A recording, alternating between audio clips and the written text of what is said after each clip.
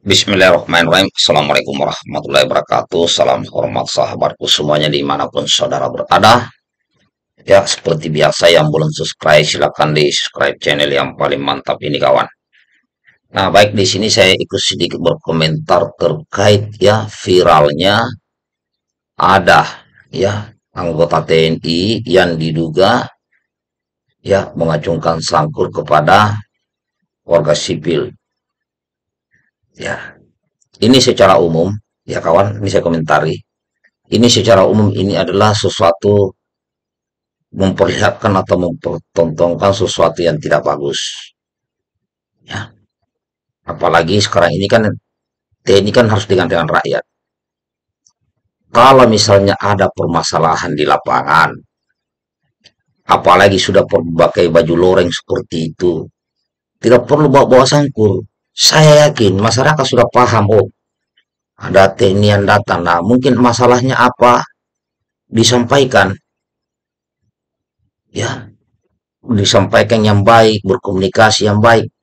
Karena hal-hal yang seperti ini bisa menimbulkan spekulasi atau salah persepsi di kalangan publik.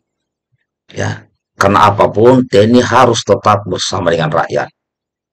Nah, saudara-saudaraku juga sahabat rakyat Indonesia, kalau ada permasalahan-permasalahan seperti ini ya, ada aparat negara ya seperti TNI, bahkan termasuk Polri kalau ada hal-hal yang mungkin miskomunikasi seperti ini, jangan digoreng-goreng ya, jangan digoreng-goreng karena biasanya ini saya lihat netizen di plus 62 ada sedikit saja kesalahan yang dibuat oleh aparat ya baik TNI termasuk Polri itu sudah langsung digoreng-goreng.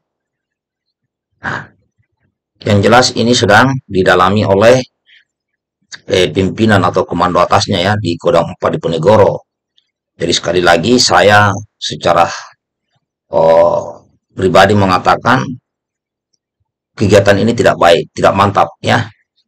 Karena sudah pakai loreng, bawa sangkur, berhadapan dengan masyarakat sipil. Nah, kecuali penjahat, nah bolehlah. Tapi ini kan mungkin ada miskomunikasi.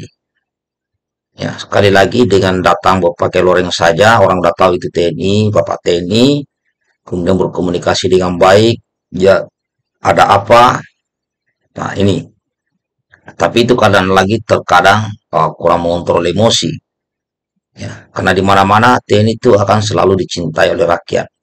Namun tergantung lagi ya untuk eh, oknum-oknumnya yang mungkin uh, salah dalam bertindak. Nah ini juga bisa membuat uh, buruk citra TNI. Ya, semoga ke depan tidak terulang hal-hal yang begini kawan ya. Ya, pokoknya TNI sinergi dengan Polri, solid dengan Polri, didukung rakyat Indonesia akan selalu kuat dan hebat. Baikkan videonya kawan.